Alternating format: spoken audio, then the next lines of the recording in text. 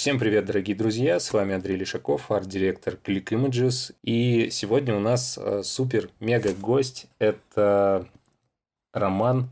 Я как этот, знаешь, э, рефери. Роман Махмутов! Привет, привет, ребята. Рад Да. видеть, слышать. Э, Роман Махмутов– это тот самый э, фотограф, э, э, работы которого вы можете, могли видеть э, на обложке, например, журнала Esquire.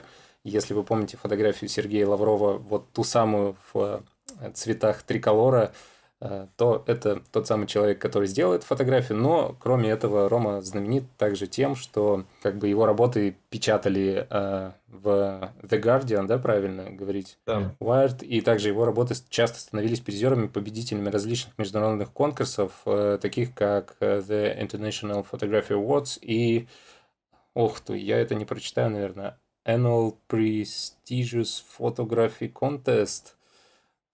ну My всякие Beautiful разные. English is... Да, в общем, различные э, конкурсы Роман выигрывал. Кроме того, Роман э, четыре с половиной года уже э, живет в США, и в отличие от э, странных иммигрантских историй, Рома очень последовательно и совершенно логично продвигался там, и, собственно, насколько все это происходило, мы, я думаю, тоже сегодня узнаем. Привет, С удовольствием Роман. поделюсь. Да, привет, Да. привет, привет, привет. Расскажи, пожалуйста, вот эм, у нас есть небольшой какой-то список вопросов, да, которые мы бы хотели сегодня с тобой обсудить. И, наверное, одно из первых, которые задаю себе я, э, один из первых вопросов, которые задаю себе я, и один из многих вопросов, которые задает себе типичный парень из небольшого городка, типа как Магнитогорск, да, ты родом, или как Челябинск, это вообще э, каким образом вот в небольшом провинциальном городе, как может развиваться творческий человек? И каким образом он может развиваться сам, там, какие есть некие точки роста, как вот на твой взгляд, что лично в своем опыте ты находил, э, развиваясь в Магнитогорске, да? То есть мы сейчас не говорим о том, как ты постепенно перешел там в США, переехал и так далее, а вот именно если ты вспомнишь те моменты, за счет чего ты вытаскивал себя из этого болота, потому что маленький провинциальный город, на мой взгляд, это, знаешь, то самое место, где ты вынужден постоянно быть э, какой-то белой вороной, и ты постоянно так или иначе находишься в какой-то оппозиции к внешней среде, и ты вынужденно так или иначе формируешь какую-то дружественную себе среду. Вот какие, может быть, комплексы маленьких городов, что тебе мешало, каким образом сложности, может быть, какие-то были, или, может быть, какие лайфхаки, там, типа, просто надо взять и сделать. Вот расскажи что-нибудь об этом. Да, это очень хороший вопрос. И, э, ну, ты прав, что я из небольшого города. И, э, ну, я никогда не воспринимал Магнитогорск прям как бы дыра дыренью, и такого и не было, этого и нет. Но объективно это не, не центр мира, даже не центр области. Это не очень большой город, 400 тысяч населения, а он город довольно индустриальный. Вот, но тип- я уже, получается, я прожил там боль- ну, всю сознательную жизнь, и теперь, теперь я пожил э, в мегаполисе, и я могу четко сказать, что есть э, ну, свои бонусы жизни в небольшом городе, которые вообще не очевидны, пока ты из этого небольшого города, города не уедешь. У меня это было Например? так, что... а, ну вот, эм, у меня это было так, что я не воспринимал э, жизнь Магнитогорске как, как бы, ну, какое-то проклятие. Я не воспринимал, что вот у нас там нет творчества. То есть э, творчество, оно все-таки идет изнутри.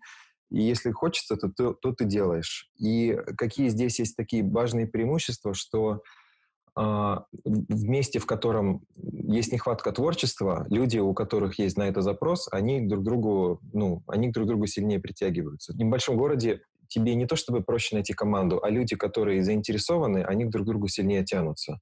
То есть я помню, у меня было, ну я не скажу, что это была моя команда, но это были как бы мои там друзья-товарищи, единомы- единомышленники, да, с которыми мы там кооперировались делали какие-то штуки, потому что для нас это был, ну типа, очевидно, если мы все знакомы, надо что-то замутить, потому что если вы не замутите, то ваша жизнь, она ну, ни- никак не изменится. И вот у меня был товарищ, такой стиль, ну, стилист не в плане стилист по прическам, а ну, как это говорят, художник-постановщик, человек, у которого было миллион реквизита, всякие разные безумные идеи, э, всякие странные одежды, у него там был гараж заваленный а, всяким барахлом. Кончилось тем, что он тоже он уехал в Москву, и там он работает художник-постановщик в кинопроизводстве. Ну, конечно, в там, фотопроизводстве, видео тем более очень важны ну, просто рабочие руки, то есть невозможно сделать одному. То есть это ну, такое слово ассистент, оно Э, ну, в нем есть э, такая коннотация не очень высокая, но я считаю, что без, вот без, без дополнительных проб ассистентов вообще ничего сделать нельзя, потому что, ну, элементарно будут вспышки падать, э, будет там ветер носить, и никто ничего не снимет. И, ну, ребята, модели заинтересованные, кто готов позировать для этих всех общих идей, что-то свое привносить. Если это больше фэшн-среда, я не по фэшну, но тоже, это, соответственно, прически, макияж и так далее. Короче, в большом городе с этим совсем сложнее, потому что, ну, вот конкретно в Нью-Йорке здесь в кого ты не плюнь, он кто-нибудь. Он или визажист, он или стилист, он или какой-нибудь там креатор или иллюстратор, и, а, и к тому же все эти люди, они с каким-то бэкграундом, и многим из них просто западло э, э, с каким-то, с другим непонятным чуваком, а если когда ты приезжаешь, ты непонятный чувак, такой же, как и все, что-то кооперироваться, то все хотят кооперироваться для своей выгоды, естественно, ищут себе каких-то людей повыше, кто здесь уже как-то зацепился. И, э, ну, несмотря на то, что всех, всех таких людей больше, но им друг на друга больше наплевать и собрать себе команду из надежных людей, кто, да просто элементарно подпишется, да, я приду на съемку, а потом возьмет и придет на съемку. Вот даже такие вещи, они здесь уже сложнее. Но когда ты находишься внутри какого-то сообщества, так или иначе, люди, которые тебя окружают, как быть с их квалификацией? То есть, наверняка, например, в той, в ну, как бы в тех же Соединенных Штатах Америки, намного выше квалификация людей, намного лучше образование, намного более оно системно, и, соответственно, уровень проектов, которые вы можете реализовывать, даже пусть сложно подбирая команду, он намного выше априори или нет? Ну, это да, все, что ты говоришь, это так. А, качество всех элементов продакшена, оно выше, с этим не поспоришь. Да, начиная с того, что просто среда сама по себе, она, а, она дружественнее, и это, это все проще. С этим я не спорю. Я думаю, что здесь такой момент. Э, когда ты находишься, например, в провинции, у тебя есть такая как бы звезда, до которой ты тянешься, и ты пытаешься сделать, догнать свою картинку до, э, ну, до, до, той, до того high-level, который ты где-то видел и ты ищешь какие-то маркеры, типа как задний план какой, какая одежда, какие прически, какие типажи лиц. Это вот очень важно. Я сейчас смотрю на старые фотографии, вижу, что очень много славянских лиц. Это неплохо, но это, это, это четко выделяется, если с тем продуктом, который делается в такой, ну, в мультикультурной среде. И э, здесь нужно просто себя очень сильно ну, наускивать на то, чтобы как можно больше. Ну, короче, приходится очень много уделять внимания тому, что в большом городе тебе бы, ты вообще об этом бы не задумался. Просто по дефолту. Мы снимаем в большом городе, у нас просто задняя картинка, она уже ну, как бы большегородская, так скажем. А здесь, а дома приходится этим париться. Ну, то есть, по сути, даже это скорее плюс, то, что ты работаешь в той среде, которая, в принципе, для этого не предназначена, и это каким-то образом вынуждено прокачивать твои скиллы, по сути. Да, это вынуждено прокачивать скиллы, и в этом плане сейчас мне здесь даже проще работать, потому что сейчас я знаю, что я могу работать вообще в любых условиях, и, ну, как бы я просто, ребят, куда мы не пойдем, мы везде все снимем. Просто теперь надо задуматься о том, что местные, они немножко к такому не привыкли, все равно у всех людей у них есть такое в голове ага, чтобы сделать хорошую фотографию, надо, надо какое-то особенное место. Просто для нас это все особенное место, а как бы в их голове нужно все равно эти особенные места здесь тоже находить. Но как бы реально скилл прокачан, это, это полезно. А в какой момент э, ты понимаешь, что все, вот лично у тебя, да, как, как ты понял, что все, в Магнитогорске я уже, наверное, закончил. Все, что я тут мог сделать, я уже сделал. То есть была ли какая-то точка невозврата, после которой ты понял, что мне пора идти дальше? Ну, я скажу так, у меня процесс был постепенный, я пытался попасть, э, конкретно я пытался попасть в Москву э, со своей работой по-всякому. Я ездил, учился там, завязал какие-то первые знакомства, учился несколько раз на разных курсах. Не все сработали знакомства, само собой. Для меня момент был очень простой, когда я стал попадать в новую среду, конкретно Москву, и общаться с новыми людьми, а потом работать с новыми людьми, я увидел, что а, ну, для меня очень важно было другой уровень бизнес-этики и другой уровень отношения к, к исполнителю, в случае ко мне. Ну, конечно, другой уровень денег, это тоже существенно. То есть, когда ты делаешь работу и тебе платят, просто ты, твой тариф там умножить на 4, умножить, умножить на 5, выше, чем тебе, тебе за эту работу платили дома. Конечно, это сильно мотивирует. Ну, это дает в первую очередь ресурсы просто так делать. Жить в одном месте, ездить, работать в другое. Но для меня было важно то, что э, я увидел, что есть какие-то вещи, которые дома произойти вообще не могут. То есть я в Москве бы, я в Москве я мог поснимать селебов реальных, а дома это было, это возможно было бы только если бы они типа на гастроли приезжали. Или если кто-то из селебов там родом из Магнитогорска. Это, ну, это вот такие еще варианты были. Ну, люди-то от, от, отовсюду, все, все откуда-то происходят. И часть селебов, они реально из Магнитогорска. Ну, как каких-то условных селебов. И, э, ну, когда я увидел, что как бы дома это невозможно, это, это была сильная мотивация. А про Штаты, э, ну, со Штатами история была такая, что если я только на разведку ездил туристом два раза, то есть я не пробовал здесь работать, только как сюда приехал. Поэтому здесь мотивация была такая, что я давно знал, что надо попробовать, и, и мотивация была такая, чем дольше ты откладываешь, тем меньше шанс, что это произойдет. Поэтому в какой-то момент просто мы купили билеты, и все, назад пути уже не было. Ну, можно было их сдать, но мы я, потеряли эти Я билеты. помню примерно тот момент, как раз тогда ты вел у нас мастер-класс, и ты говорил, что, ребята, я очень дико переживаю, получится ли все. Я помню до сих пор, что мы шли по этому коридору, я говорю, Рома, ты такой крутой чувак, у тебя все обязательно получится. И видишь, мои прогнозы сбылись, у тебя все получилось. Ну, пока получается, да. Что-то получается.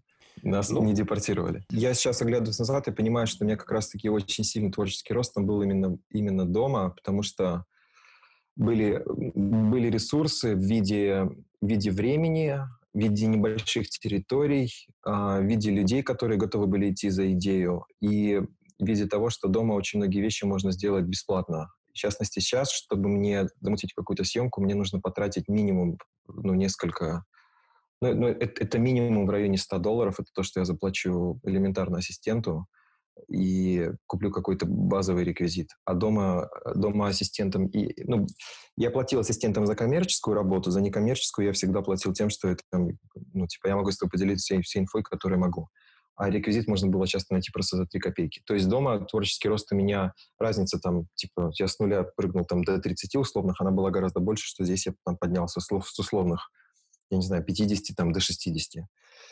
Вот, поэтому дома было много твор... Ну и плюс еще было там возраст молодой, все дела, там не было седых волос, это все бегалось быстрее, не без этого тоже. Но еще раз, э, глядя на свои старые фотографии, я в жизни не скажу, что это было там какой-то, не, не хватало чего-то для того, чтобы творить. Все хватало, и это было замечательно. В общем, не, не, не от города это зависит. Да, мне, кстати, в свое время тоже это очень помогло, когда ты рассказывал нам на мастер-классе. Я до сих пор помню эту самую презентацию, когда вышел э, Роман Махмутов, известнейший там стробист, и показал нам свою первую в жизни фотографию, которую он сделал, и объяснил, что вот отсюда я начал, и через 15 минут просто показывания фотографий э, рассказал, к чему пришел, и все такие охренеть, а так можно было самопрезентацию делать. Вот, это было очень круто, на самом деле, я это помню. Про обучение фотографии еще хотел, э, за, хочу, хотел, сослагательное наклонение наше все. Хочу задать тебе вопрос. Э, как ты вообще относишься к популярной нонче, как говорят у нас в малом городе Челябинске, к популярной нонче концепции Long Life Learning – Придерживаешься ли ты этого? Постоянно ли ты повышаешь свою квалификацию? Может быть, э, есть какие-то вещи, которые ты периодически как бы, ну, проходишь курсами? Вечный студент – это человек, который поучился где-то, еще никак не, не воплотил в жизнь навыки, которые он приобрел, и идет учиться сразу дальше, потому что обучение, оно дает такую психологическую защиту, что от психологическую защиту, а вместо того, чтобы начинать идти уже и делать, можно себе всегда сказать, о, а я еще не готов, я вот этого не изучил, а вот, поэтому... Да, я согласен с тобой, но я имел в виду здесь немножко другое. То есть, э, с моей точки зрения, концепция э, вот это вот э, как бы постоянного прокачки себя, да, постоянного обучения, она предполагает не то, что ты находишься в состоянии вечного студента, а то, что ты постоянно каким-то образом с разных сторон себя прокачиваешь. То есть ты, например, потянул вот эти навыки, и, естественно, потянув их, да, ты имеешь по окончании какой-то проект, скорее всего, либо каким-то образом их интегрируешь в свою работу. Потом э, следующий, то есть, например, сейчас там я обучаюсь э, в одной там, например, школе, да, у меня там онлайн обучение, я его закончу, у меня уже план там совершенно в другой области, я хочу обучиться вот этому, потому что я понимаю, что в моей работе как человека вот те данные из той области, которые совершенно никак не связаны там с арт-дирекшеном фотографии, но они мне нужны, лично мне как бы вот в моей некой картине мира, мне, я понимаю, как их использовать для своей дальнейшей работы, для ее улучшения. То есть я вот прям перманентно что-то э, стараюсь постоянно как-то прокачивать. Вот. Как у тебя вообще обстоят дела с э, вот этими всякими штуками? Ну, да, я, я с этим согласен. А, если хочется прокачиваться... Я помню, знаешь, в Москве есть э, британская высшая школа дизайна. Собственно, там я и учился несколько раз, собрал несколько разных курсов, и там на стене висят э, в кафетерии Лебедева, по-моему, цитаты великих, и там написана замечательная цитата, что если вы хотите достигнуть чего-то в своем поле, вам необходимо изучать смежные. И у меня было так, что я ездил, брал курс по фотографии вот в британку когда-то еще там, я не знаю, когда 2000 какой там десятый год был. И я на нем, я на нем сходил, я увидел, что что-то я знаю, но я понял, что много из этого я уже знал. А вот когда в следующем году я приехал на курс Digital Art, который был сделан а, для, ну, по идее, он был на базе иллюстраторов, но он был про современные концепции, ну, про, концепции современного искусства. Там сидели ребята-иллюстраторы, и для них э, инфа, она была такая, ну, что-то мы об этом знаем. Для меня это было 100% новой информации. Я был самый лох вообще среди всех этих иллюстраторов. Я, я ну... тебя понимаю, да. Я примерно сейчас в такой же ситуации тоже нахожусь. Вот. Это было, конечно, немножко некомфортно, но все время себе повторял то, что Типа я не я приехал учиться не иллюстрации, то что как не важно, как я рисую, важно, что какую информацию получаю. И мне кажется, что как бы ну я получил очень много инфы и относительно всех, может быть, я получил вообще максимум новой информации. Уж э, ну там еще раз я скакнул в том случае с нуля до 50, а они там с 80 до 90. И это было очень сильно. И в следующем году, я помню, когда я ездил на курс по фэшн-стайлингу, он имел отношение к фотографии, но не целиком. Это, ну, это, это было уже более-менее в моей сфере, поэтому я что-то про это знал. Но, опять же, я получил очень много новой инфы. И можно, конечно, сказать, что да, фотографии важно изучать там колористику, или важно изучать там композицию, или важно изучать старых мастеров. А мне кажется, важно понять, что, скажем, тебя в целом привлекает, например, драматургия и, или тебя привлекают какие-то, или в, в целом ты, например, светлая личность, или ты темная личность. По темной личности я имею в виду, что меня привлекают сюжеты, связанные с драмой, там Стивен Кинг, э, какие-то мистика, недосказанность э, и так далее. И, ну, мне, исходя из этого, мне нравится, что это связано там и, и, и темный нарратив, и какие-то загадки, и, и, и мистерии и так далее. Соответственно, ну, просто смотреть кино, читать книги на эту тему и больше погружаться, искать единомышленников среди того, что уже было создано. А если нравится больше светлое, позитивное, это такой весь лучик света, то, конечно, ну, прокачивать себя больше элементарно путешествиями, больше социализироваться, выходить в свет э, и искать э, людей, которые там в твоей же теме. У меня есть знакомый фотограф, он занимается йогой ему вот это его занятие йогой, оно его как фотограф условно прокачивает, ну, как для его бизнеса это лучше, чем все остальное, потому что он находится в своей среде, он фотографирует этих же йога-тренеров, там он занимается серфингом, и как бы весь месседж, который он создает, он такой как бы расслабленный, позитивный, человек, живет в гармонии с собой. И, ну, как фотограф, он как бы, ну, типа посредственный, откровенно посредственный фотограф. Но с точки зрения внешнего человека он представляет собой цельную личность, которая вот его фотография и его а, личность, она, как бы это все такой единый месседж, никакого диссонанса нет. И в последние годы у меня, э, я тоже здесь, я походил, поизучал фотографию, я не изучал какие-то какие совсем другие темы, но я вот сейчас интересуюсь очень э, геймдизайном. Это к фотографии отношения не имеет, связано с, там, с одним стартапом, который я давно развивал, и он подает такие большие надежды.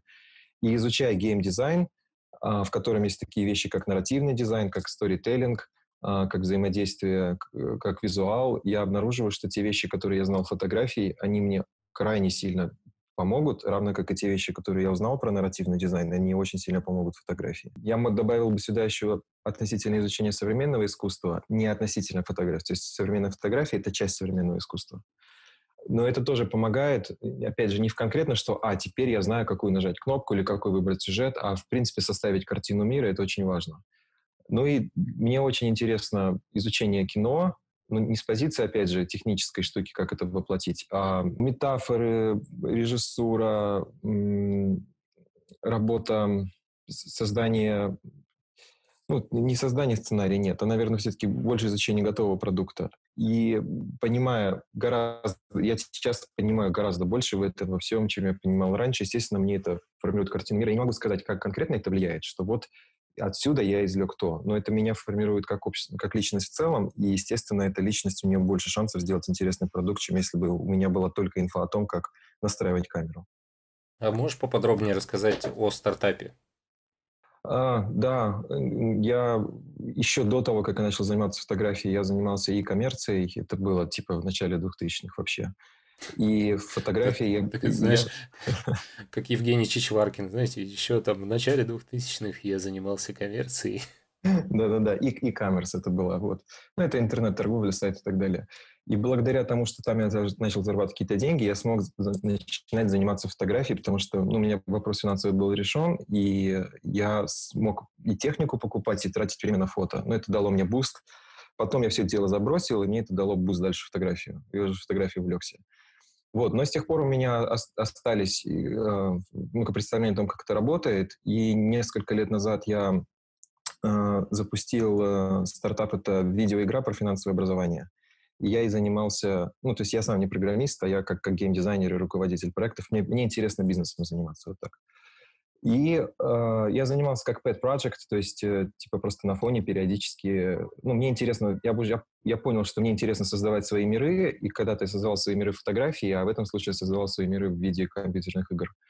И ну, внезапно в прошлом году проект начал взлетать гораздо выше, чем я ожидал. И я увидел в этом перспективу. И Uh, несмотря на то, что сейчас он мне приносит меньше, чем фотографии, но я вижу, что те, теория может приносить мне больше, чем фотография. Я могу это масштабировать ну, очень высоко, чего фотографии не произойдет. Но равно как и вместе с тем я могу упасть очень низко, чего фотографии тоже никогда не произойдет.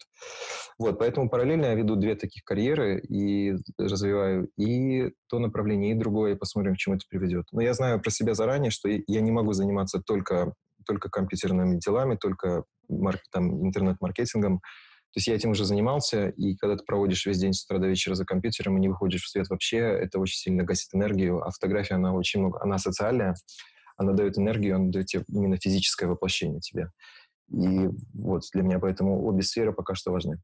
Ты очень много говоришь именно о, например, э, своем развитии, и у тебя твое развитие представляется в виде четкой какой-то оформленной стратегии. Либо ты говоришь о каких-то бизнесах, и опять-таки ты очень как-то вполне логически и совершенно э, стратегически рассуждаешь об этом. И есть такое подозрение, у, может быть, непосвященных людей, вот, допустим, у меня, да, оно периодически складывалось, что ты, я не знаю, проходил какую-то бизнес-школу или еще что-то. Откуда у тебя такой бэкграунд? Ты там, я не знаю, может быть, в школе там постоянно зарабатывал каким-то разным образом, набрался опыта. Где? Откуда у тебя это вообще? Как ты этому научился? Вот прям системно, стратегически вот так мыслить, все выстраивать, все очень четко. Как? Где это взять? Я понял. Ну, я не учился ни в каких бизнес-школах, я, наверное, был бы рад. Я понимаю, что какие-то моменты, что у меня ограниченное мышление. Если бы как раз я где-то учился, я был бы более, широких взглядов.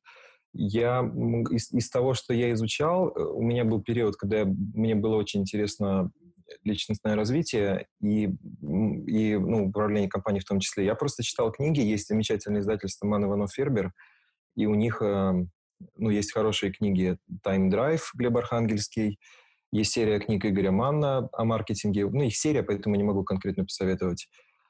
Есть э, «Связи решают все» Дарси Рейзак, э, «Клиенты на всю жизнь». Это, это, все, это все про фирму. И это, ну, кроме Мана, это и архангельские зарубежные авторы, и американская, ну, западная, не американская, западная бизнес-школа, она просто старше нашей, ну, примерно лет на 150, там, почти на 200. Поэтому они успели, время, у них было время, чтобы набить все шишки о том, как бизнес работает. Вот. И, ну, конечно, это еще определенный опыт. И у меня какие-то бизнес-идеи взлетали, какие-то нет. Какие-то идеи, они прогорели, какие-то там кончились с испорченными отношениями с друзьями, там, к счастью, восстановлены впоследствии. То есть это за день не происходит. Ну и получается уже много, уже 12 лет, как существует фотошкола, которую мы с моим партнером создали в Магнитогорске. Это тоже бизнес-опыт, то есть это большое количество людей, которые прошли, это большое количество клиентских э, взаимодействий и так далее. Ну, все это, все это э, опыт, который помноженный там на, на информацию, на какие-то выводы, он дает какие-то результаты. Вот. Но если есть возможность где-то пройти бизнес-образование, это вообще отличненько. И я думаю, что ну, вот MBA, Я думаю, что если кто-то из фотографов получит MBA, он перестанет заниматься фотографией. Вот. Начнет заниматься нормальной работой, да? Ну, типа того, да. То есть, начиная с того, сколько платит выпускнику MBA, то есть минимальная, минимальная ставка в год и сколько можно заработать фотографии. Как раз примерно. Минимальная ставка MBA – это максимальное занятие фотографией. А, вот. Но если есть возможность где-то вот зацепить там какие-то онлайн-курсы, что-то еще, просто хотя бы понять базовой терминологии, это, конечно, жизни супер поможет, потому что в целом, э, если мы говорим о фотографии не как об искусстве, а фотография как искусство, это, не знаю, 0,2% всей фотографии, а, просто как, как о бизнесе, то надо знать, как работает бизнес, чтобы просто не делать глупых ошибок. Там, начать брать трубку, когда клиенты звонят. О, да, это вообще просто. Мне кажется, это беда всех российских ребят. Э, они просто не хотят брать деньги от клиента, когда он хочет им их отдать. А, это, это культурная, это, это вещь. Мы воспитаны в среде, в которой деньги, у которых отношения с деньгами, оно не такое немножечко особенное. Я на себе это чувствую. И Э, видя, как работают американцы, и видя, как работаем мы, я понимаю, что это чисто вопрос воспитания, и нам нужно над собой работать. Но это, это cultural thing, то есть не, нельзя сказать, что это плохо, просто у нас вот так, вот, в нашей среде вот так. Если говорить про конкретные скиллы, я считаю, что э, социальные скиллы э, в современном мире, они важнее всех других, тем более в работе с фотографом. Если ты не ретушер, который не выходит из- из-за компьютера и не общается с людьми, то социальный скилл — это следующий, который нужно развивать после, после всяких технических, потому что мы работаем с людьми, и с клиентами, и с партнерами, и с моделями, и со всем. И это типа супер важно. Скажи, пожалуйста, можешь ли ты назвать, ну, если же, да, может быть, это количество велико, за кем ты особенно следишь, то есть э, какие арт-директора, фотографы, либо какие-то ресурсы, может быть, которые постоянно у тебя вот где-то открыты, и ты их постоянно просматриваешь. Мне здесь помогает Инстаграм и те, те ленты тех сайтов, которыми, которыми я прикипел. Я выписываю какую-какую печатную прессу, несмотря на то, что она есть в цифровом виде, но мне нравится, что у меня есть такие разные медиа. У меня есть телефон, который я могу пролистать всегда, который обновляется мгновенно. У меня есть сайт, который я могу почитать там утром, вечером.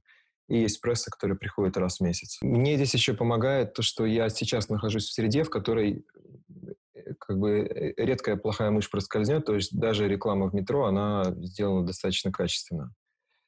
И э, ну, весь тот визуал, который меня окружает, ну, скажем, периодически мы выезжаем из Нью-Йорка, я сразу вижу, опа, это типа американская провинция. То есть потому, как люди одеты, как, как, какой, какой интерьер заведений и какие, ну, какой визуал вокруг себя встречаю, он как бы резко отличается. Вот.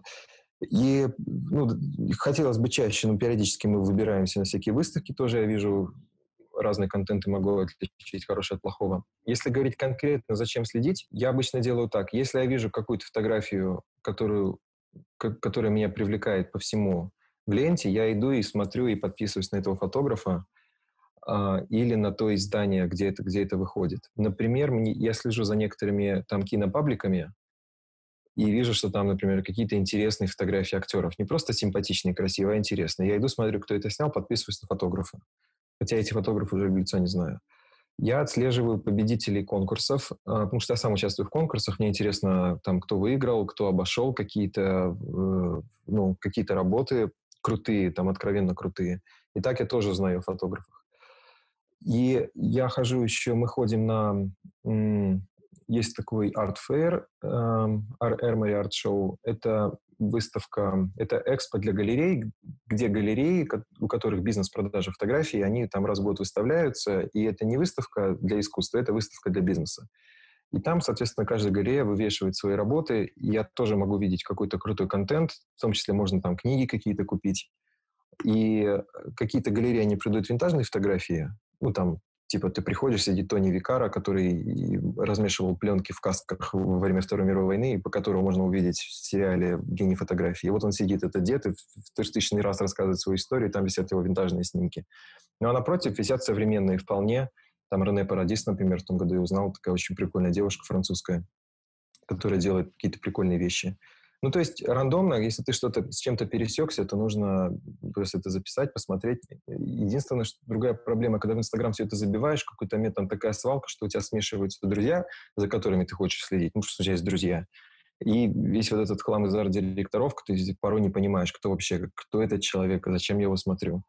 А, ну, что арт-директора тоже всякое выкладывают. Расскажи, пожалуйста, ты упоминал, что видишь рекламу и понимаешь, что она классно сделана. Насколько сильна разница, насколько она бросается в глаза между рекламой в...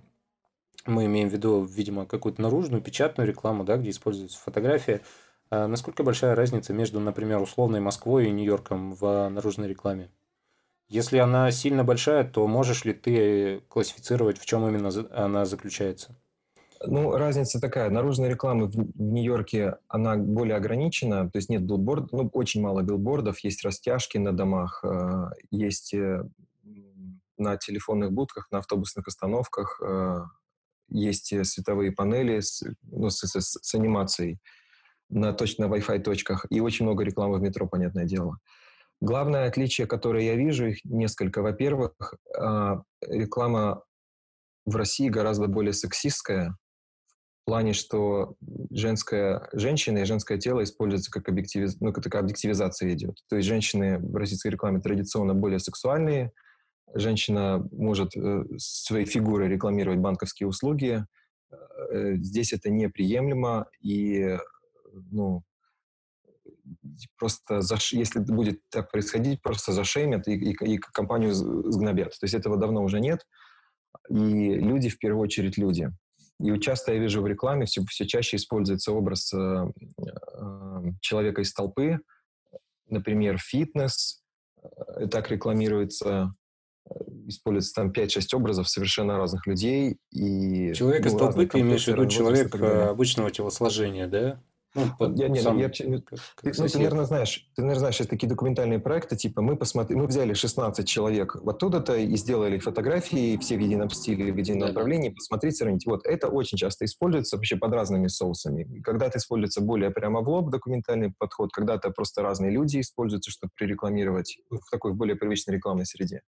Но это прям ну, э, маленький человек, everyday man, повседневная жизнь, это чем дальше, тем больше. Чтобы звезды что-то рекламировали, ну, это уже прям такое, знаешь, э, ну, это останется, безусловно, это будет, но это меньший тренд. То есть, когда я вижу реклама, типа Дженнифер Энистон рекламирует зубные щетки или там какие-то банковские услуги, что-то такое, ну, это прям стрёмно выглядит. То есть, это такой чиповый подход, типа, мы не придумали ничего лучше, кроме как заплатить кучу денег звездей, поэтому вот она пресс рекламирует. Ну, типа, я не скажу для лохов, но это такой низкопробная реклама.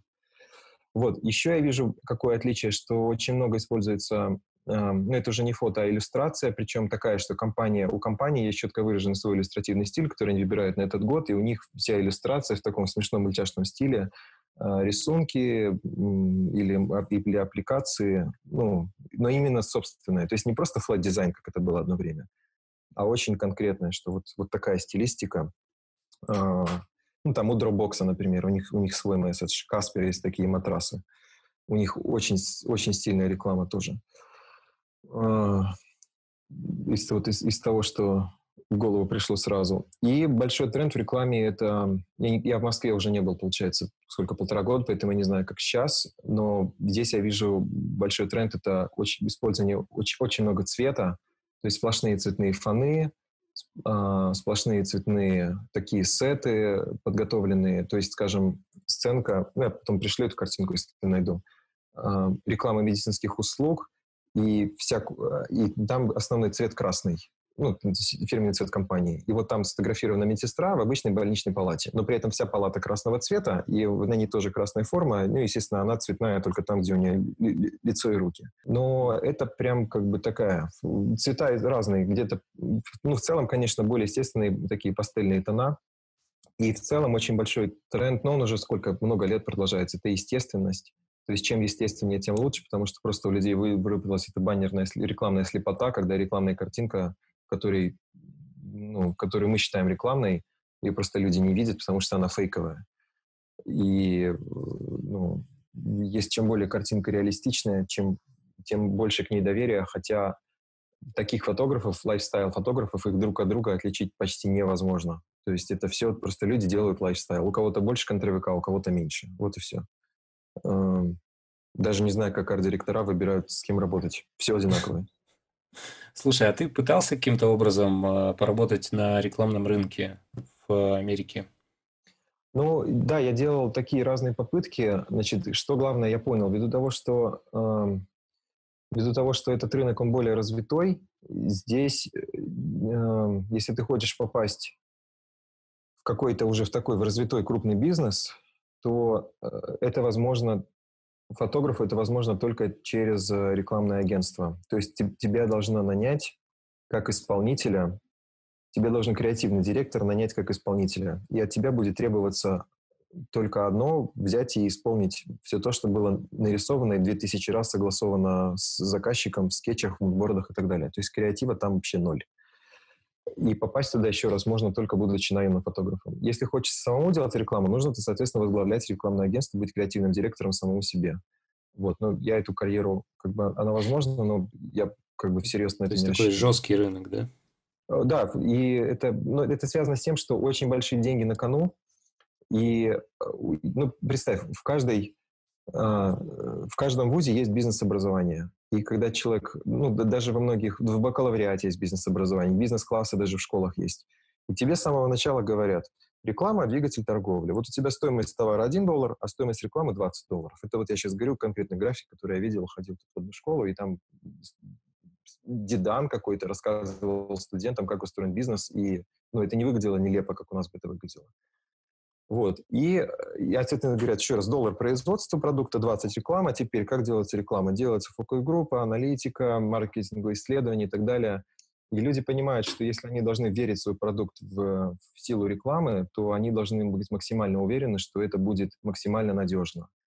И ну, не будут готовы тратить деньги на какие-то аферы непонятные и с непонятными людьми и заменить деньги.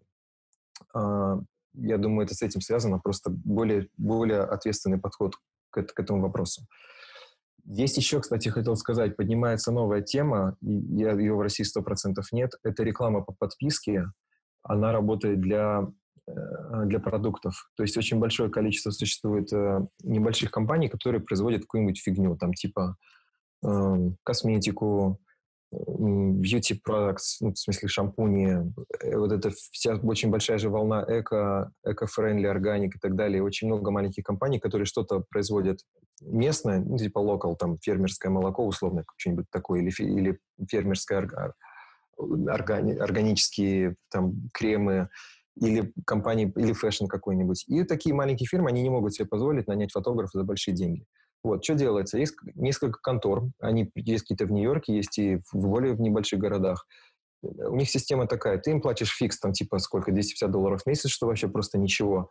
Я не знаю, может, не 250, может, 1250, но какие-то вообще абсолютно небольшие деньги.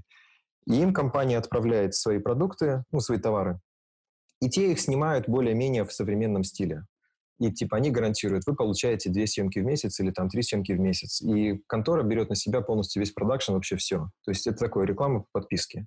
И такая рекламная кампания, она выживает за счет того, что они предлагают большой продукт. Э, они не выходят из дома, они не согласовывают с кем какие свои брифы. Они просто гонят в такую штамповку, которая выглядит современно. Самое главное, что ну, просто такая экспресс-реклама, да, получается, да, по да. сути. И это все, это все не, это не выглядит плохо ни, ну, ни, никоим образом. И это такой интересный баланс для производителя между ценой и качеством. Если бы, ну, я бы сам, например, таким, если бы я что-то такое продавал, я бы таким сервисом воспользовался 100%. Потому что в первую очередь это максимально доступно по цене.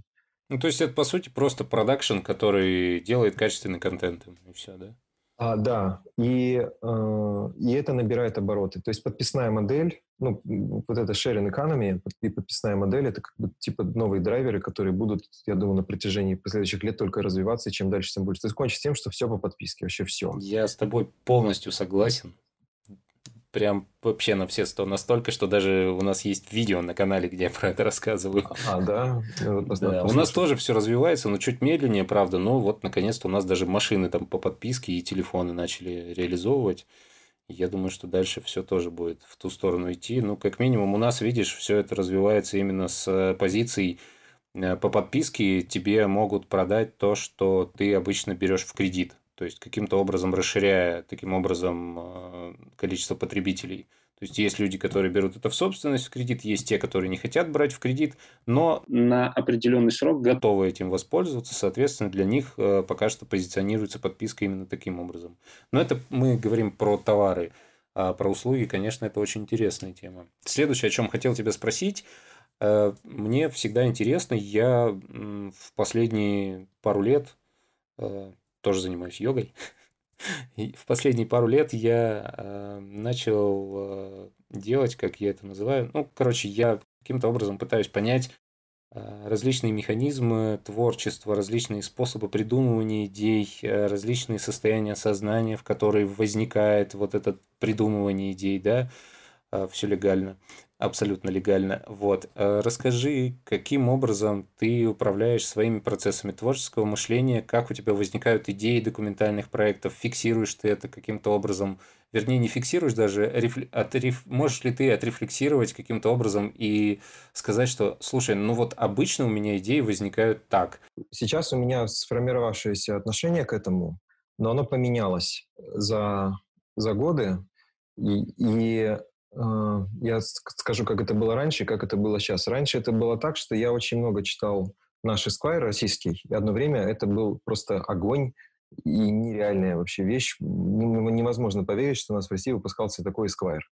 И это была очень качественная фото, фоторедактура. Она и сейчас хорошая, но сейчас просто фокус журнала немного сместился. И там мне была очень интересна форма, которая для меня была необычная и нова, я старался этой форме исследовать. Конкретно форма была в том, чтобы, вот как я уже сказал, мы взяли, там, мы проанализировали то, и вот посмотрите, как это выглядит. Потом я уже, позже я узнал о том, что называется типология, о том, что берется какая-то, э, берется какой-то феномен в жизни, и в нем ищется, в нем ищется типичность. И это, ну, это разные проекты были. У меня конкретно это было так, что я пытался найти какие-то темы, которые мне здесь сейчас были интересны, и, соответственно, составлял такие же типологии. Это были мои первые документальные проекты. Например, там, скажем, мы поехали на Гуа, и, конечно же, я потащил с собой кучу вспышек, и там я приставал к людям и спрашивал, откуда вы приехали, и, и практиковал свой ужасный английский на тот момент, хотя был уверен, что он был идеальный. И я у них записывал вопросы, и потом это расшифровал, получилась такая мини-документальная серия. То есть это не был реальный документальный проект, а, который бы хоть какой-то имел бы вес вообще в арт-мире, потому что он был снят просто за, я не знаю, за, за, за пять дней, и никакого открытия он не несет. Но для меня это было вполне себе настоящее, потому что это было мое первое. Мне объяснили, что нужно искать темы, недалеко где-то, то есть не надо ехать во Францию, чтобы там снять документальный проект. Надо посмотреть вокруг себя, что вокруг тебя есть такого, чтобы проект снять документальный проект. И нам это говорил Максимишин, который приехал, ну, я надеюсь, знаю такого фотографа, люди. И Сергей Максимишин Я думаю, приехал... да, наслышали. Да, вот, приехал на Магнитогорск и говорит, друзья, покажите мне какую-нибудь серию про Магнитогорск. И ни у кого ничего нет. И он, как бы, у него, говорит, резонный вопрос, что, друзья, вы живете в таком городе, ни у кого из вас нет проекта про Магнитогорск. Это очень странно. То есть, живя в каком-то месте, мы не можем выйти и на него посмотреть, хотя это место само по себе представляет очень вполне себе как какой-то конкретный интерес. Тогда я начал смотреть, что вокруг есть меня, и делал то же самое, но уже дома. Скажем, узнал, что у нас рядом с городом есть э, картинговая трасса, где тренируются молодые Э, ребята, ну, типа молодые просто дети, там, до, до, до 12 лет. И из Магнитогорска там никого нет вообще, а это просто такой фан-проект э, владельца, фан-проект местного бизнесмена, который построил картинг-трассу, куда приезжают ребята со всего там Урала и, и катаются на картах. И, это, и вот я пошел, поснимал про это, это было довольно интересно. И только потом это, все это я пытался, получается, какую-то копировать форму. И постепенно, уже поучившись здесь, и, ну, поизучав всякие другие темы, я понял, что самые главные темы, которые нужно снимать и искать, это то, что реально тебя лично волнует, и только там могут получаться крутые работы, потому что у тебя будет страсть и понимание, и проникновение в тему. То есть ты не будешь как журналист, которого наняли, который приезжает на три дня, изучил тему и уехал. А это будет вещь, которую ты реально исследуешь, которая тебя беспокоит. И вот те мои три документалки, которые для меня самые большие, самые важные, это одна про Аркаим, но она чуть в меньшей степени, то есть это просто мое наблюдение за тем, что было рядом со мной, ну, там, начиная с, моего студенчества. Потом документалка про маленькие деревни с европейскими названиями, но это чуть ближе ко мне, потому что я уже исследовал ту среду, в которой я живу. Ну, хоть я, я не из деревни, но для меня это было более-менее близко, может, это российская среда. И последний проект, который я снял, который меньше опубликован, это уже наложилось с, моим изменившейся, сильно изменившейся жизнью. Это проект про сады, про дачные участки. И для меня это было уже гораздо ближе всего, потому что когда-то у нас был дачный участок, когда-то я сам работал в огороде, как, там у моих родителей это все было, и я все понимаю, и для меня это исследование наложилось с моей иммиграцией. Я пытался через этот проект понять, кто мы такие, конкретно в целом, э, ну, в смысле, кто я такой в том числе. И это показано через, э, через конкретную ситуацию, через такую субкультуру вот этих дачных участков. И, вот, и для меня это было уже важно, и, и каждый раз, когда я приезжал, мне было очень интересно это снимать, и я бы просто, вот я сейчас понимаю, вот если я вот, я давно не был дома уже, но каждый раз я бы ходил и снимал, это просто для меня это как такое, знаешь, очень медитативная практика. Вот, поэтому э, можно начать просто с копирования формы, чтобы понять, что это такое. Но в конечном итоге снимать нужно то, что тебя реально беспокоит, что тебе интересно. Не то, что беспокоит социальные проблемы, я не люблю социальные проблемы снимать, а то, что интересно. И, как, знаешь, один там, фотограф сказал, я фотографирую, что не могу не фотографировать. То есть надо говорить о том, о чем ты не можешь молчать. То, что тебя вот реально тебе интересно. То есть у тебя ну, внутри тебя как-то есть. Ты работал руководителем фото-видеослужбы на форумах, которые, собственно, это вот форумы типа там, которые устраивала Росмолодежь, да, или как это называется агентство, э, куда приезжают первые лица государства, собственно, российского. Вот. Э, соответственно, у меня к тебе вопрос такой, э, как от человека, который так или иначе постоянно работает с различными фотографами и с различными творческими командами. Подскажи нам, может быть, есть какие-то секреты, на что обращать внимание при отборе людей, когда ты точно понимаешь, что у тебя довольно ответственная работа и что налажать не надо. И как э, вот этих всех творческих, необузданных людей, э, творческих, конечно, в кавычках, которые на самом деле э, мы знаем, что творчество немножко не об этом, вот. А как этих людей, которые часто очень эмоциональные и как-то друг с другом там или не друг с другом ну, короче, в общем, этих эмоционально расшатанных ребят, как их держать в узде и как делать так, чтобы они делали свою работу максимально идеально, четко в срок и без всяких лаж и оправданий и всего остального. Как таких людей находить, где, каким образом, как их в команду в одну собрать, э, как вообще ты с этим справлялся? На это ушло время. Я работал не один раз. Первый раз я работал один, второй раз э, там было нас уже типа условно двое, а в третий раз нас было больше, а в четвертый раз нас была прям вообще целая толпа. То есть это происходило не мгновенно. И я это вижу так. Во-первых, нужно самому разбираться в вопросе. И ну, чтобы руководить толпой э, творческих ребят, нужно самому быть авторитетом в этой теме для них. То есть я конкретно фотограф, поэтому я могу поставить задачу фотографу. У меня в команде еще были видео ребята, но ввиду того, что я не столько видик, я мог заниматься их руководством довольно опосредованно, просто через, ну, просто через, э, через менеджмент на уровне ребята. Сегодня мы делаем то, завтра мы делаем это. И ну, просто какое-то общее, общее отслеживание видения. У них было у видиков, у них было гораздо больше творческой свободы, потому что у меня было меньше авторитета. То есть я, я мог бы начинать как бы своими грязными лапами туда лезть, но я этого не стал делать, потому что просто это неправильно. А, дальше делалось так, что на... я э, звал с собой людей больше, чем нужно, и э, то есть приезжала работать, скажем, нам нужен был один фотограф по факту, а я звал двух фотографов. И потом мы смотрели, кто лучше справляется. И я еще тасовал людей. Например, мы работали Просто 6 напоминает недель. немножко Ходорковского. Он, говорят, по слухам, любит параллелить процессы и смотреть, кто лучше справляется. Угу. Ну, это, это не было столкновение лбами, это было скорее так, что, скажем, сегодня у нас один фотограф снимает учебную часть, а второй внеучебную. Ну, то есть один снимает лекции, а другой развлекухи. А на следующий день они меняются местами, а второй снимает развлекухи лекции. И мы смотрим, что к чему, и в том числе, ну, там, мы, например, выяснили опытным путем, что надо вот технически надо ставить свет вот так а вот так свет ставить не надо. Или там технически мы выяснили, что вот в это время суток вот там на спортплощадке самый классный кадр, потому что там низкое солнце. И один фотограф это заметил, второй не заметил. И так все, все от этого получили профит в итоге. А, вся команда, имею в виду. Вот. А потом другой вариант, это что, скажем, форум шел 6 недель, и каких-то каких людей я позвал просто по неделям, чтобы посмотреть, как они справляются. И то есть даже если приезжает человек, и видно, что он ну, не в своей тарелке, что ему по разным причинам ну, не получается работать. Причин может быть много. И, кроме того, что человек болван, есть причины такие, что э, не тот формат, не успевает, или просто другой ритм работы, или там техника неподходящая. Ну, причин миллион может быть, и ну, надо подсесть с пониманием. Мы просто потом по итогам года, ну, по итогам работы посмотрели, что вот эта наша команда в итоге будет вот такая, вот такая. И э, у нас еще важная вещь, которую мы, за, мы заметили, что, конечно, можно человеку сказать, да что такого, пошел пофоткал, но в итоге для творческого человека очень губительна повторяемость, и когда у тебя идут лекции, которые между собой все похожие, одинаковые, на протяжении нескольких недель, это реально как день сурка. То есть ты проснулся, в 9 позавтракал, поснимал лекцию до 12, потом пообедал, поснимал лекции до 4, потом и, и так далее. Просто люди выгорали. И этот вопрос решался тем, что мы делали с точки зрения наших нанимателей избыточное наложение. То есть у нас люди ну, пинали балду тогда, когда с точки зрения обычных людей они должны были просто идти работать. И мы это делали для того, чтобы люди не выгорали.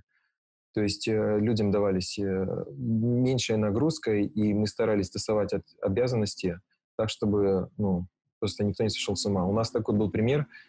У нас была девушка э, в, один из, в один из первых наших работ, которая работала фоторедактором, то есть она отбирала фотографии и выбирала нужные. И она у нас была несменная. То есть мы подумали, типа, фотографу надо сменяться, а такому человеку сменяться не надо. И как раз-таки она, она у нас и, и стрессанула самой первой.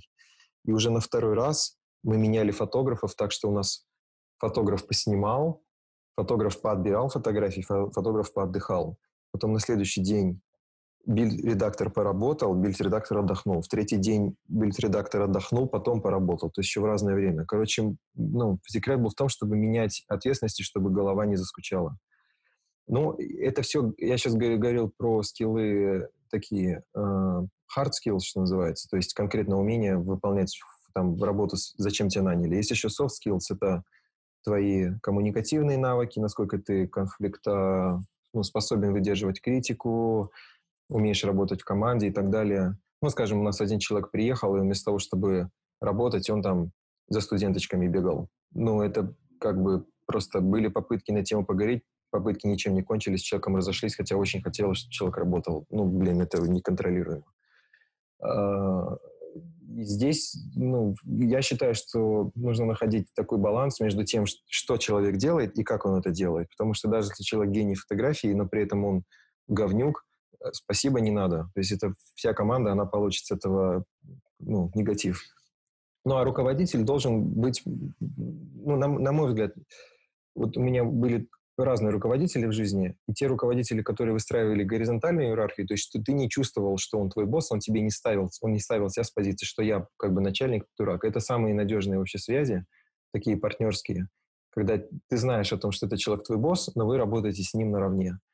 И это создает очень такую, ну, э, командный, командный дух, когда хочется и, и товарищам твоим помогать, и, и для человека сделать хорошую работу, для, для, для твоих нанимателей. Ну и надо слушать людей, разговаривать с ними. Если что-то не так, просто, просто ну, я не пью, а кому-то надо пойти, может быть, и прибухнуть, и вместе поговорить, там, что к чему. ну, то есть, такой, держать разумные границы и вверх, и вниз. Мне очень нравится в твоих проектах то, что там про дачу или про вот эти деревни. Мне очень нравится, что да, это, возможно, как бы не сильно сложный проект там с точки зрения реализации. Сейчас Рома должен усмехнуться и сказать, ха-ха, кто тебе сказал, сынок, что это несложно? Я, я прекрасно понимаю, о чем ты, да. Технически вот. это... Технически несложно, но огромный какой-то интерес они представляют именно за счет э, того, что они не копируют кого-то, а они берут те темы, которые еще до этого никто не исследовал, они именно апеллируют тому, что важно для тебя, что определяет твою идентичность. То есть вот уехал ты, например, в США, но есть просто люди, которые уезжают, например, в США или в другую страну, они как бы делятся на несколько классов. Есть люди, которые уезжают, говорят, в России все говно и стараются это забыть. Есть люди, которые говорят, в России все говно и почему-то читают русские новости и очень много их комментируют, при этом уехав в другую страну. Вот. А есть люди, которые, уехав в другую страну, говорят, вы знаете, мы русские, да, мы живем в другой стране, мы прекрасно знаем другой язык, но мы русские, и нам пусть там у нас э, какие-то не всегда приятные воспоминания, но мы к ним относимся очень бережно, потому что они делают нас русскими. Вот все то, что с нами происходило. И вот мне кажется, вот если опираться на это, то получится огромные сильные какие-то проекты, и в этом ну, сокрыто некоторое какое-то количество ну, как-то внутренние силы в таких проектах, если... Да, ты говоришь правильно. Здесь вот то, что ты начал говорить, я изучал этот вопрос, что происходит с людьми при, э, при миграции с культурной точки зрения. И вот, получается, люди могут... Меняется отношение к собственной культуре, и возникает отношение к новой культуре. Если старая культура отвергается а новое не образуется, то есть человек не вписался, он не вписывался в старую среду, почему-то вдруг человек ненавидит место, откуда он родом, но при этом в новую культуру он не вписался, это самая тяжелая ситуация, когда человек просто чувствует себя полностью потерянным. Другой вариант, что люди эмигрируют, и они не вписываются в новую среду, но в них просыпается патриотизм относительно своей культуры.